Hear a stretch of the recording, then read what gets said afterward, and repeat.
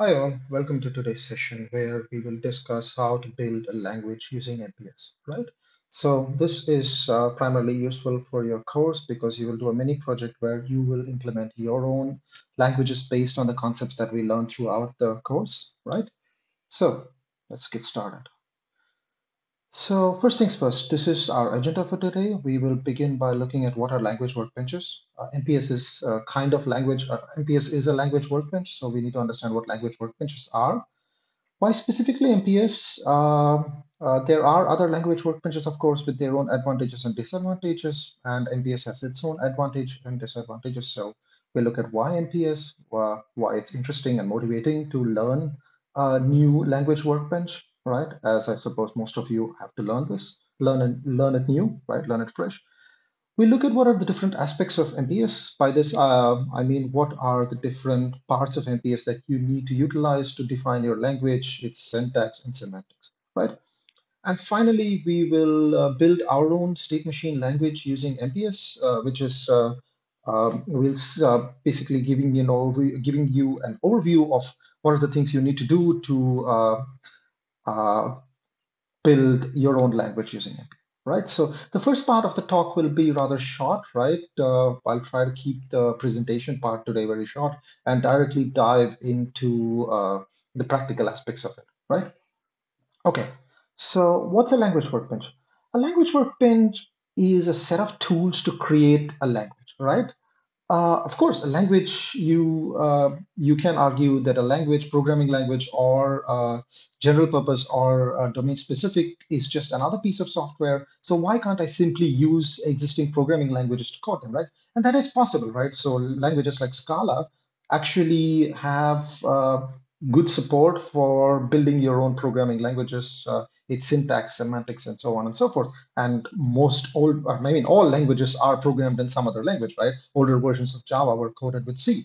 So it's not, uh, of course, you can do it, but uh, in the modern world, uh, there are specific kinds of tools called language workbenches which allow you to think of your language in terms of syntax semantics, which is the main perspective from which a language designer comes from, right? When you, we already saw it, when you're defining your, when you're designing a language, you first think of the syntax, how it should look like, and then the semantics, what the language means or what programs in that language mean, right?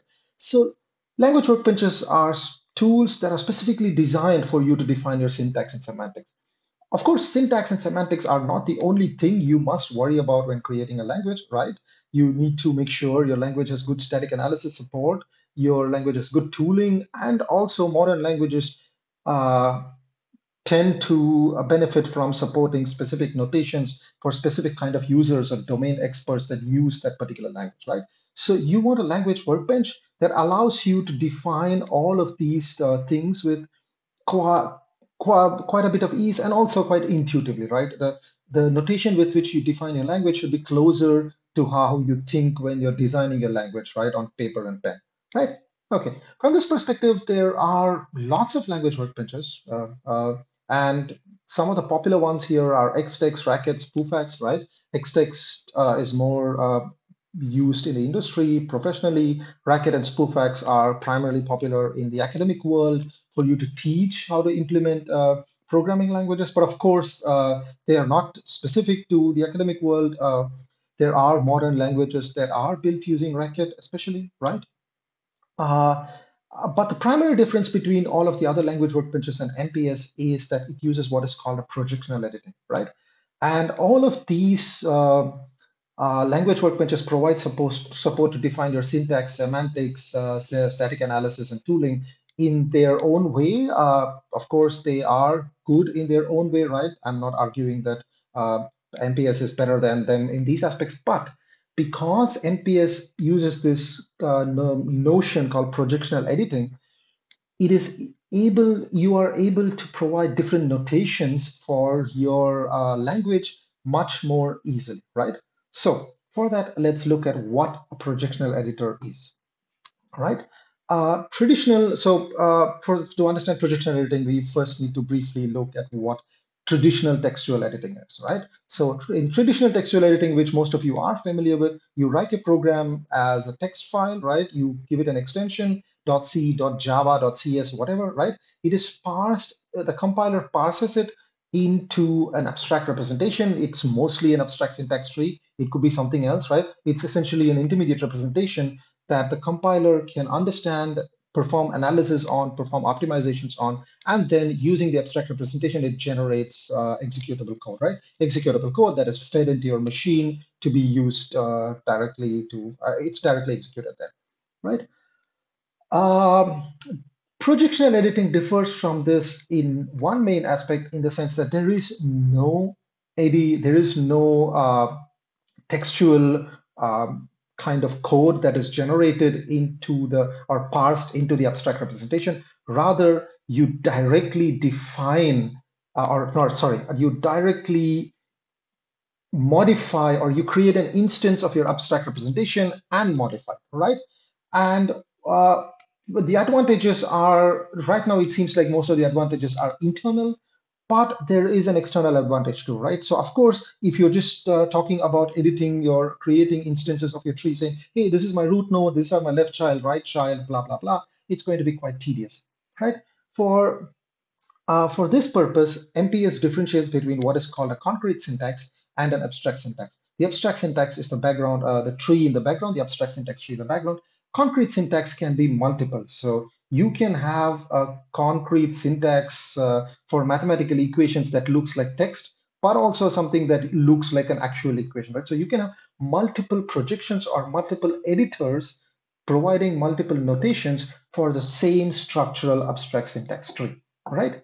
So yes, so uh, but for your course, the concept, this uh, differentiation um, is not so much important, but for those of you who are interested, uh, I think it's cool to know that this is how MPS internally operates, right? So for, from the perspective of building your language, you will do the same things. You will define your syntax, you will define your semantics, and you will define your tooling around it, right?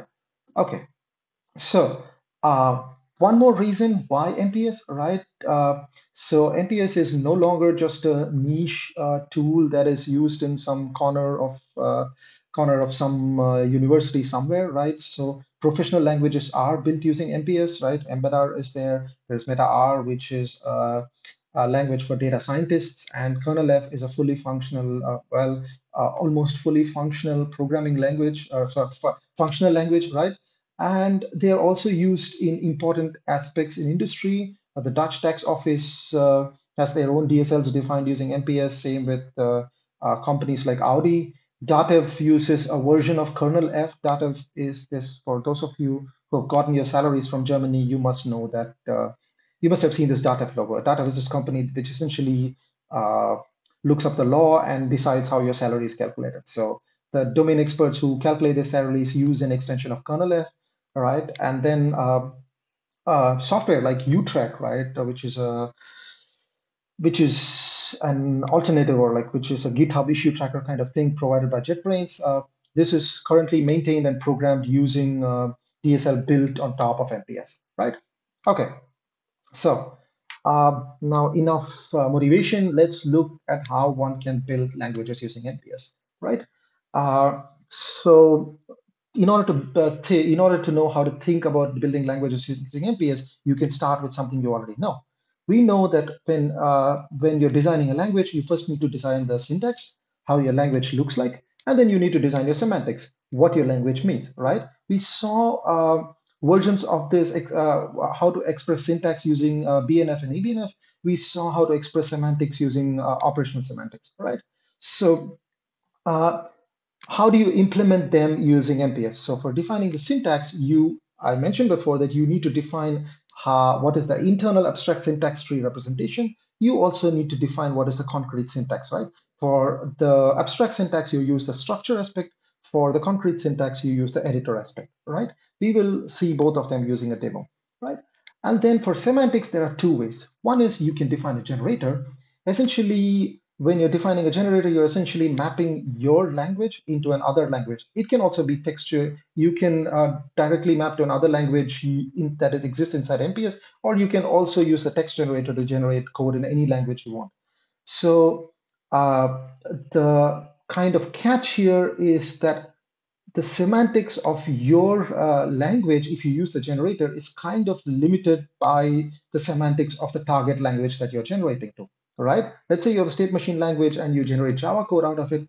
You're kind of inheriting the syntax from Java. Of course, you can kind of play around with the syntax by uh, being clever with how you map your how you map uh, nodes in your language to the nodes in Java, but you're kind of limited by it. This is similar uh, in in use case. This is similar to, for example, thinking yeah about how uh, C is uh, C is used to build a compiler for Java, right? Modern versions of Java Bootstrap, but earlier versions, if you use C, if you use a language A to uh, define a compiler for language B, you're kind of limited by the semantics of B is kind of in a way limited by the semantics of A, right? Of course. But the other more cleaner way to translate your semantics, like the operational semantics that we defined for our uh, toy languages, right, is to use the interpreter. In using your interpreter, you define evaluators for each kind of node in your language, similar to what we saw with operational semantics, and then you kind of say tell how the nodes, uh, particular nodes are interpreted. Right?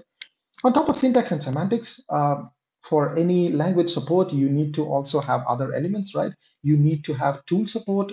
And for defining good tool support, you can use the intentions aspect, the constraints aspect to define what is the scope. We'll see all about this. You can also define type system, which are, of course, partly semantics, but the type system aspect is also used to provide good tools, right, using MPS. Of course, the other aspect is the behavior aspect, which is not directly uh, uh, mapped to attribute grammars. But for those of you who who come from my course who learned about attribute grammars, right? Uh, attribute grammars are ways to synthesize and inherit properties for individual nodes in your uh, individual nodes in your uh, in your tree, right? In your parse tree. So behavior is uh, behavior aspect allows you to define these kind of properties for individual nodes, right? Okay. So enough theory, let's get to more practical stuff, right? Let's briefly look at, uh, again, this is something that I already told you about. Syntax has two elements. You need to define your structure, which is the abstract syntax tree, and then abstract representation, and then uh, the editor for the concrete syntax, right? As this example shows, your concrete syntax can be graphical, it can be textual, it can be tables, it can be whatever, right? So yeah. Okay, so here's a brief overview of how you define your structure and editor for structure. You uh, again, all of this will be much clearer when we look at the demo, right? Uh, so for structure, you essentially look at your uh, EBNF, translate it into some kind of class hierarchy, and then uh, you you translate your uh, grammar into some kind of class hierarchy, and then you can uh, use the concept of concepts here. So a concept essentially is used to define a kind of node. You can define properties for concepts. You can define children for concepts. So for example, a binary expression will have two children. Both of them are expressions, right? So something like that. And then you can have references to other concepts, right? You can also have interface concepts if you want to collect different kinds of, you can have an I expression and then um, expression could be an interface and then binary expression plus expression. All of these could be uh, sub as could implement this uh, expression concept, right? So essentially you kind of translate your grammar into a class hierarchy and then uh, map it to the structure aspect. For editor, you use the notion of uh, cells and grid. So you just say in what cell, uh, which part, which child or which uh, reference or property goes into, right? Of course, you can do a lot more things. You can define graphical editors and stuff. And for those, you have um, other other kind of editors in your uh, in uh, in MPS, right? So yeah, we'll we'll look uh, we'll look at about all of them, right? Or not all of them, but we'll get a better idea when we are looking at the demo.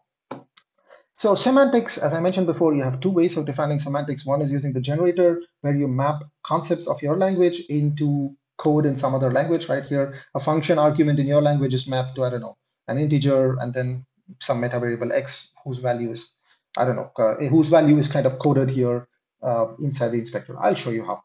And then, of course, you can also do model to text generation if you don't have a equivalent of the language, target language you want to generate in MPS.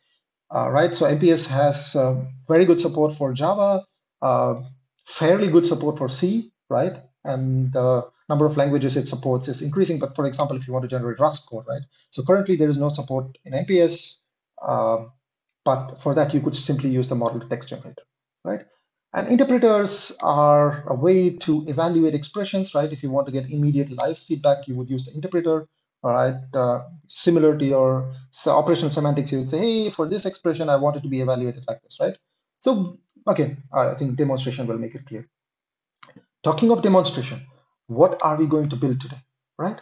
We are going to build two languages. One is a state machine language with which I will show you how to implement semantics using a generator.